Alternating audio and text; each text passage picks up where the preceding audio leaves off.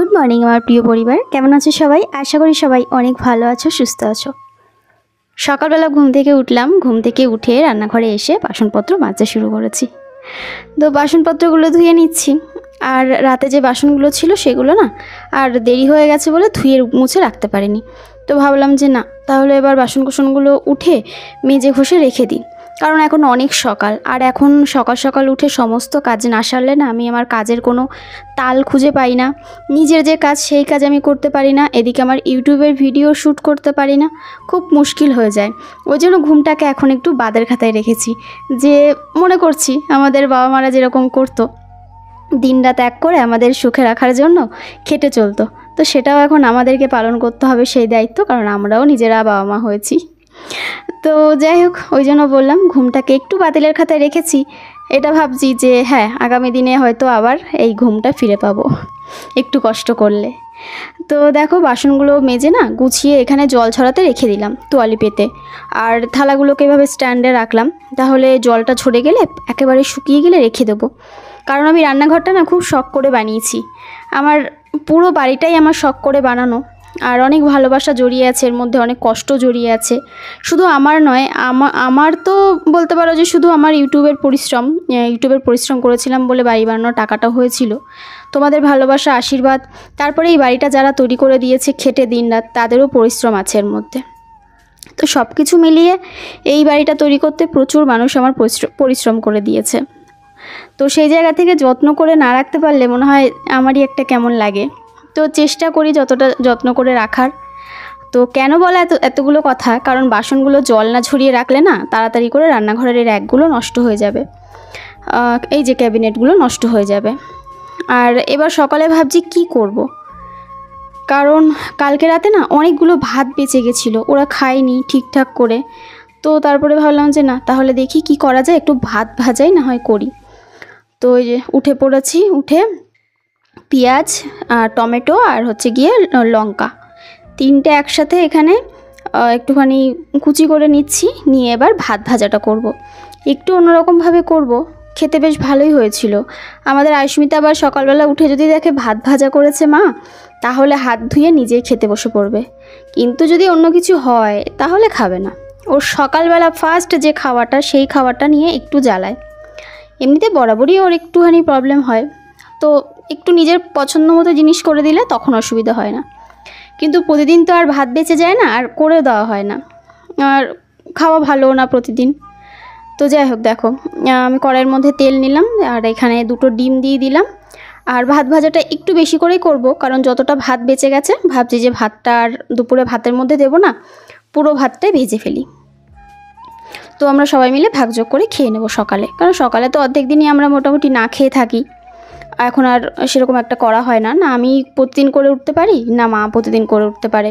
কারণ আমি আমার প্রেশারের জন্য পারি না, তারপরে উজ্জ্বল খেতে চায় না, আর মা তো ওই বাড়ি থেকে রুটি খায়। তো ওই জন্য আমি একার জন্য কি করব। করা হয় না, হয়ে ওঠে না। তো দেখো, এখানে কালো জিরে ফোড়ন দিয়েছি, শুকনো লঙ্কা দিলাম। শুকনো লঙ্কা জাস্ট ওই গন্ধর জন্য একটু দিলাম। আর নুন হলুদ দিয়ে ওই যে সবজিটা দিয়ে দিলাম। এর মধ্যে একটুখানি বিনস, একটু গাজর একটু ফুলকপি মানে নিজের ইচ্ছা মতো দিলে সবজিগুলো ভালো লাগে। একটুখানি বরবটিও দিতে পারো, আবার ওই কড়াইশুঁটি। তো এইসব দিলে শীতকালটা বেশি ভালো লাগে আরও ব্যাপারটা। তো দেখো, এবার ভাতগুলো দিয়ে দিলাম, দিয়ে নাড়াচাড়া করে নামানোর আগে একটু গরম মশলা দিলেও হয়, না দিলেও হয়, আমি ভাবছি আজকে একটু কাসুরি মেথি দেবো। কাসুরি মেথি দিলে না টেস্টটা একটু আলাদা হয়, বেশ ভালো লাগে খেতে। একটু সেই রেস্টুরেন্টে যেরকম হয়, অনেকটা সেরকম লাগে খেতে। আর বাড়ির চালের ভাত দিয়েও কিন্তু ভাত দিয়েও কিন্তু ফ্রায়েড রাইস হয়, দারুণ। আমি বানিয়েছিলাম অনেকবার, বানিয়েছি। পনির দিয়ে, তারপর এর মধ্যে বিভিন্ন রকম সবজি অ্যাড করে, কাজু কিশমিশ, ফুলকপি দেওয়া যায় মানে নিজের পছন্দ মতো, চিংড়ি মাছ, তো এভাবে অনেকবার বানিয়েছি। সব সময় হয় না, ওই জন্য ভাত ভাজা, আমাদের ওই বাঙালির ভাত ভাজা, এটাই প্রিয়। তো ওদিকে ভাত ভাজা হয়ে গেছে। আর এবার ঘরদোরগুলো মুছে নিচ্ছি। সবার প্রথম রান্নাঘরে যেহেতু রান্না করলাম, তো ভাবলাম যে না, রান্নাঘরটা একেবারে ঝাড়পোছ করে মুছে তারপরে বেরোই। আর আমাদের ঘরদোরগুলো ঝেড়ে পুছে একেবারে বেরিয়ে যাব। সকালবেলা উঠে কারও ঘুম ভাঙুক আর না ভাঙুক, এই কর্তামশাইয়ের ঘুম ভেঙে যায়। আমি কিন্তু জানি না ও এখানে শুয়ে রয়েছে। আমি তো আমার মতো ঝাঁটা, ঝাঁট দিয়েই যাচ্ছি দিয়েই যাচ্ছি। আমি ভেবেছি হয়তো ও ছাদে গেছে বা অন্য অন্য কোথাও রয়েছে। ও বাবা, পরে এসে দেখছি উনি এইখানটা শুয়ে রয়েছে। তো ঘর, ঘরটা মুছে নিলাম আর এবার আমাদের ঘরটা মুছে নেব মানে পাশের ঘরটা। তো ঘরদোর মুছে আমি এখানে এসেছি জামা কাপড় মেলতে। কারণ কালকে রাতে ওয়াশিং মেশিনে অনেকগুলো জামা কাপড় কেচে রেখেছি। একদম মনে নেই আর রাতও অনেক হয়ে গেছিল। আমার একদম মনে ছিল না যে আমি যাব, গিয়ে জামা কাপড়গুলো মেলে তারপরে শোবো। তাহলে দেখো সকাল হতে হতে আমার অনেক জামা কাপড় শুকিয়ে যেত। কিন্তু ওই যে মনে নেই, তো ঘরদোর মোছা হয়ে গেছে। এদিকে টুকটাক কিছু কাজ করলাম, যেগুলো আবার আর ক্যামেরাবন্দি করা হয়নি। তো জামা কাপড়গুলো মেলে যাব স্নান করতে। স্নান করে পুজো দিয়ে দেবো। ব্যাস, তাহলে আমার এদিকে সকালের কাজকর্মগুলো হয়ে যায়। তারপরে পুজো দিয়ে উজ্জ্বলকে উঠিয়ে দেবো।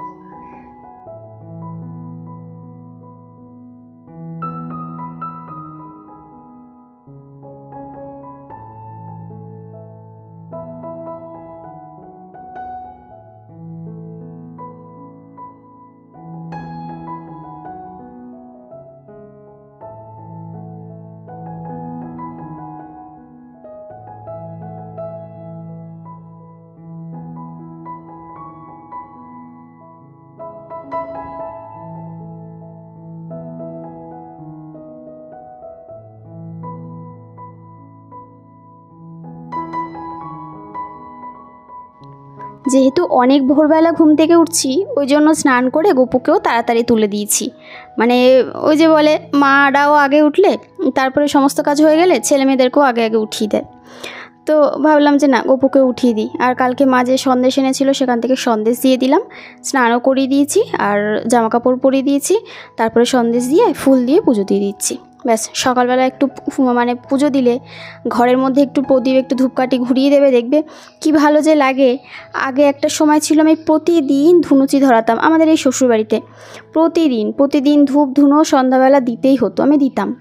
আর সেই সময় আমাদের যে কাঁচা ঘরবাড়ি ছিল, আর আমাদের অনেক অনেক সে নারকেলের যে চিবড়াগুলো হয়, নারকেলের খোসাগুলো, সেগুলো হতো। বসে বসে না কাটতাম। কেটে কেটে রেখে বস্তা ভর্তি করে রেখে দিতাম। এখন আর হয় না সময়, তো ভাবছি যে না, আবার চালু করব। এই জিনিসগুলো। কারণ এই জিনিসগুলো আমরা যদি ভুলে যাই না, তাহলে দেখবে আমাদের ছেলে মেয়েদেরকে এগুলো শেখাতে পারব না। পুজো দেওয়া মানে হচ্ছে নিজের মনের ভক্তি, শ্রদ্ধা আর মনটাকে পজিটিভ রাখা। আমি এটুকুনি জানি, তো সেটা মেনেই করা। আর এই যে শঙ্কটা এটা কিছুতেই বাজে না। আর সব থেকে হাসির কথা শুনবে? যখনই আমি পুজো দিতে বসি ঘণ্টা বাজাই, তখনই আমাদের পেস্তা শাক বাজায়। পাশ থেকে সেই এমনভাবে ডাকবে, মনে হবে যেন ও গান করছে। এমনভাবে ডাকবে, ঠিক তিন থেকে চারবার করবে, যেভাবে শঙ্খ বাজায় ঠিক সেইভাবে। আর আমি তো কখনো উল- উলুলু দিতে দিতে আমি হেসেই ফেলি ঘণ্টা বাজাতে বাজাতে। আমি ভাবি, ও করছেটা কি? তখন ভাবি, হয় ও ভয় পায়, নয়তো ও নিজে নিজে ওর ভগবানের নাম স্মরণ করে। তো সারা ঘরে একটুখানি ধূপকাঠির গন্ধ দিয়ে দিলাম। বেশ একটা সুন্দর সকালের গন্ধ। আর তারপরে তুলসী তলায় ধূপকাঠিটা দিয়ে আমি আসলাম রান্নাঘরে। রান্নাঘরে আসার কারণ আছে। আর আজকে একটু শ্যাম্পুও করেছি মাথায়। বেশ কয়েকদিন ধরে ভাবছি আজ করব, কাল করব, করে করা হচ্ছে না। সমস্ত কাজবাজ সেরে না, তারপরে স্নান করি তো, ওই জন্য খুব আলসেমি লাগে। তারপরে ভাবি যে এই শ্যাম্পু করতে গেলে অনেকটা সময় চলে যাবে, আমি সেটুকুনি সময় অন্য কাজ করতে পারব। এই সব ভেবে আর কি হচ্ছে না। আর আজকে করব লোটে মাছ, লোটে মাছটা বের করে রাখলাম, আমি করতাম। তারপরে মা বলল যে, কণিকা, আমি করে দিচ্ছি, তুমি তো সকালের কাজবাজগুলো করলে, তাহলে রান্নাটা আমি করে নিচ্ছি। আমি বললাম যে আচ্ছা ঠিক আছে। আর এখানে আমাদের বাজার এসে গেছে, তো কিছু কিছু ছিল না সবজিপাতি, সেগুলো এনেছে। পেঁয়াজ ছিল না। তারপরে মা দুখানা বড় বড় লেবু এনেছে, বাতাবি লেবু। বিশ্বাস করবে না, আমার যে কি পরিমাণে বাতাবি লেবু খেতে ইচ্ছা করছিল। মা যদিও এনেছে, বাচ্চাগুলোকে রস করে দেবে ওই জন্য। আর এটা হচ্ছে আমাদের গাছের লাউ গাছের লাউ পাড়া হয়েছে। তো লাউটা কেমন হয়ে গেছে? তো লাউটাকে আর কি খেয়ে টেয়ে ফেলতে হবে। আর কুমড়ো এনেছিল, কুমড়োটা তো বাইরে রাখলে পচে যাবে, ওই জন্য কুমড়োটা ফ্রিজের মধ্যে রেখে দিলাম।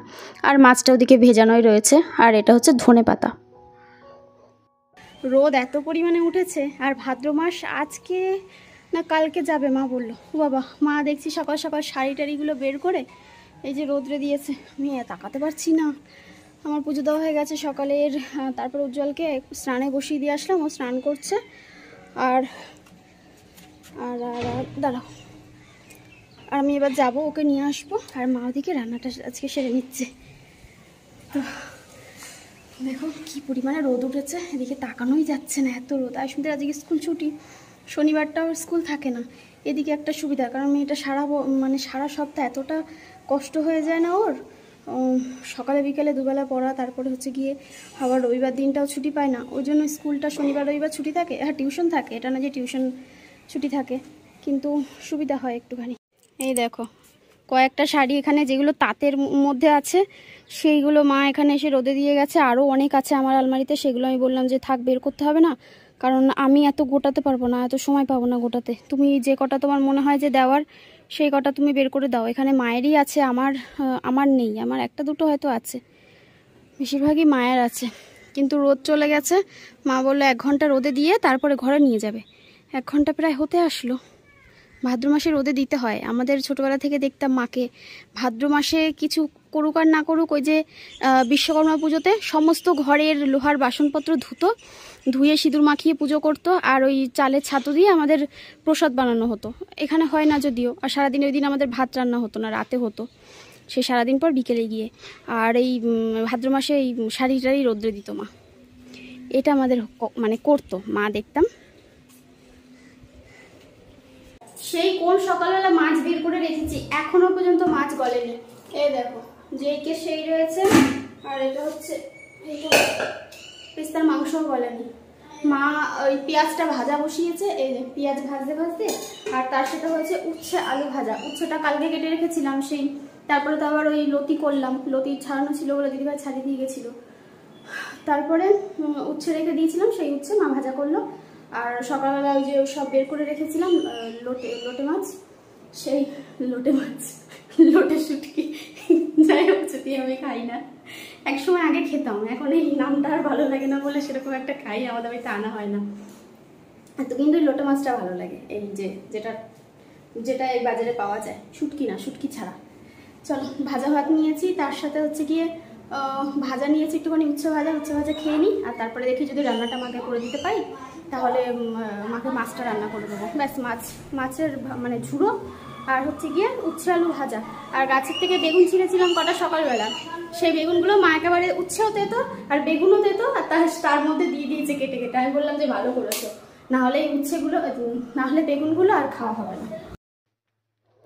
আয়ুষ্মিতার জল খাওয়ার মানে ওর প্রচণ্ড কুড়ে জলও খেতে চায় না, জানো না।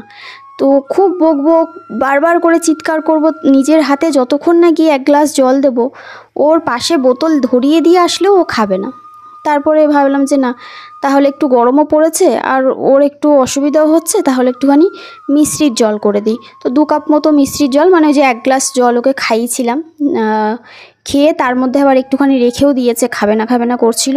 তো দেখি এর মধ্যে ওআরএসও আনতে হবে, ডাবের ডাবও আনতে হবে, অনেকদিন এসব ওকে খাওয়ানো হয় না। বাচ্চা মানুষ, আর বাড়িতে ঘরে লেবুও ফুরিয়ে গেছে। মাঝখানে লেবু, অনেক লেবু এনেছিলাম, কিন্তু লেবুর রস আমি করে দিতে পারি না বলে ও খেতে চায় না। আমার সময়ই হয়নি করে দেওয়ার, আর মনেও থাকে না, সমস্ত কাজবাজ করে? আর এত শর্ট টাইমের মধ্যে ও একটুখানি ঘুমাবে না লেবুর রস খাবে? সেই স্কুল থেকে আস্তে আস্তে তিনটে বেজে যায়, আড়াইটে তিনটে বেজে যায়। তারপরে এসে আবার লেবুর রস না খাওয়ার সময় পায় না। আবার পাঁচটা বাজতে বাজতে উঠে ওই তিনটের সময় ধরো আসলো, আড়াইটে, পৌনে তিনটের সময়। এসে খেতে খেতে সাড়ে তিনটে বেজে যায়। সাড়ে তিনটে কোনো দিনও শুতে শুতে চারটে বেজে যায়। আবার পাঁচটা বাজতে বাজতে উঠে দৌড়ায় পড়তে। কখন দেবো বলো তো? আর রাত্রেবেলা ফলটা দিই না, অ্যাসিড হয়ে যাবে ওই জন্য। লেবুটা তো অন্তত দিই না। তো মা বলেছিল রান্না করবে, তারপরে দেখলাম যে মা ওই বাড়িতে গেছে, দেরি হচ্ছে আসতে, আমি রান্নাটা চড়িয়ে দিয়েছি। আর আমি কাটা ছাড়িয়ে রান্না করতাম, আজকের মাছটা একদমই টেস্ট হয়নি। মানে হয়েছে ঠিকই, কিন্তু মনের মতো করে করতে পারিনি। কারণ ওই যে আগের দিন কাটা ছাড়িয়ে যে টেস্টটা পেয়েছি, সেটা কিন্তু আজকে পাইনি। আমার অনেকটা লেট হয়ে গেছিল এদিকে রান্নাবান্না করতে করতে, কারণ বসে বসে আমি অনেকটা কাজ করছিলাম। আমি ভাবলাম, মা বলেছে রান্না করবে আমি ভাবলাম, মা হয়তো তাহলে করবে। তারপরে দেখছি না, বেলা গড়িয়ে যাচ্ছে গড়িয়ে যাচ্ছে, মা আসছে না। তো তারপরে আমি তড়িঘড়ি করে ভাবলাম যে না তাহলে যাই রান্নাঘরে গিয়ে। মাছটা তো শুধু বাকি আছে করে আসি তাড়াতাড়ি করে। তো ওই জন্য মাছটা সেদ্ধ করে কাটা ছাড়ানো হয়নি। আর আজকে ওই জন্য আহ, আয়ুষ্মিতাও অতটা পছন্দ করেনি কারণ ও আবার একটুখানি মানে ওকে ভালো করে না দিলে জিনিস খায় না। তো যাই হোক কী আর করা যাবে? আর এদিকে দেখো মাছটা বেশ জল বেরিয়ে গেছে। অনেকটা শুকিয়েও ফেলেছি। কারণ এই মাছে জল শোকাতে অনেক সময় লাগে লোটে মাছে। আর এই মাছটা আমার বেশ ভালোই লাগে। বিয়ের আগে অতটাও পছন্দ করতাম না, কিন্তু মা দু একবার জোর করে খাইয়েছে, তারপর থেকে মোটামুটি একটু একটু খেতাম। কিন্তু বিয়ের পরে ওই যে না খাওয়া অভ্যাসগুলো মোটামুটি সবই এখন অভ্যাস হয়ে গেছে। তো হ্যাঁ, এবার পুরো একদম ঝুড়ো ঝুড়ো করে নামাবো। মানে পুরো একদম শুকনো শুকনো হবে তারপরে নামিয়ে নেব। আর তারপরে মা ওদের সবাইকে খেতে দিয়ে দেবে। আর আমরা দেখছি একটু বেলার দিকেই খাব ভাবছি কারণ বেশ কিছু কাজ আছে সেগুলো আগে সেরে নিই তারপরে খাওয়ার কথা চিন্তা করব। সন্ধে পৌনে সাতটা মতো বাজে আমি এই সবে সন্ধ্যাবেলার সন্ধ্যা দিলাম। এই যে। সন্ধ্যাবেলার এই সবে সন্ধ্যা দিলাম, আমি কি করি বলো তো? সন্দেশ এনে রেখে দিই। আজকে আবার মা বাজারে গেছিল, মাকে বললাম যে তুমি তাহলে গুজিয়া এনে রাখো। কারণ ওই অনেকে বলেছে আমাকে কনিকা কাজু কিশমিশ এনে রেখো। হ্যাঁ এটাও সুবিধা হয়। গোপালকে আমরা আমাদের ইচ্ছা মতো, নিজেদের সন্তানের মতো যা খুশি মানে আর কি যেগুলো দেওয়া যায়, যা খুশি বলতে যা খুশি না মানে ওই যে কাজু কিশমিশ তারপরে বিস্কুট, চকলেট ফল, মিষ্টি, সন্দেশ এগুলো তো দেওয়াই যায়। চলো ও লাইটটা একটুখানি জ্বলুক, কারণ সন্ধ্যাবেলা তো। সন্ধ্যাবেলা দরজা জানলাগুলো একটুখানি সব খোলা রয়েছে, আর সব দিকে লাইট টাইটগুলো জ্বালিয়ে রেখেছি। সারা ঘরে গঙ্গা জলের ছিটা দিলাম। আর মা ওরা গেছে একটু ঘুরতে। আজকে মনে হয় দিদিভাই থাকবে, দিদিভাই এসছে, পুচকিও এসছে, কারণ জামাইবু হয়তো কোথাও গেছে বলছিল। ওই জন্য আর কি থাকবে। তো রাত্রেবেলা মা বলল যে, এই দেখো, সবুজ সবুজ, আমার ডাইনিংয়ের জায়গাটা ভালো লাগে না। সন্ধ্যাবেলাটা এই জায়গাটা বেশি ভালো লাগে। অন্য সময় আসলে এখন সাদা একটা পেছন দিক থেকে সেই সূর্যের আলোটা আসে, কেমন একটা সাদা সাদা হয়ে যায় ব্যাকগ্রাউন্ডটা, বুঝেছ? জলের বোতলগুলো খালি করে এখানে রাখা রয়েছে। জল ভরবো আরও কয়েকটা বোতল আছে, সেগুলো জোগাড় করব। এতক্ষণ বসে একটু কাজ করলাম জলকে আবার সন্ধ্যাবেলা খাওয়ালাম, কারণ ও দুপুরবেলা খাইনি আর জামা কাপড়গুলো কালকে একেবারে ভাজ টাজ করে নেব, আজকে থাক, কারণ আজকে অনেকগুলো কাজ কমপ্লিট করেছি। আর বিকেলবেলা আর একটা কাজ করেছি। মা লেবু এনেছিল, এই যে লেবু মাখা করেছি। এত কটা দিন ধরে খেতে ইচ্ছা করছিল না, তোমাদেরকে বলেছিলাম। তো মা এনেছিল আর কি, ওদের বাচ্চাগুলোকে রস করে দেবে বলে। ওদেরকে একটা দিয়েছে রস করে, আর একটা ছিল, সেটার অর্ধেকটা কেটে আমি খেলাম। তো আমি একটুখানি খেয়েছি, আমি এতটা মতো খেয়েছি আমি আর উজ্জ্বল, আর এটা রেখেছিলাম মা দিদির জন্য, ওরা বাড়ি নেই কোথায় গেছে। তো থাক, আসলে দিয়ে দেবো। আর আমি দুধ চা খাব না কারণ লেবু খেয়েছি ওই জন্য অ্যাসিডিটি হয়ে যাবে। আমি একটুখানি র চা খাই। চল। হচ্ছে ডিমের কষা মা করছে। কথা আমি গেছি। আমাদের রান্নাঘরটা সত্যি খুব গরম। ডিম আর এই হচ্ছে আলু। আলুটা কিন্তু গরম এইমাত্র মা মনে হয় নামিয়েছে আলুটা। তো ওই ডিমের কারি হবে রাত্রেবেলা যেহেতু যে বললাম দিদি ভাইরা রয়েছে ওই জন্য।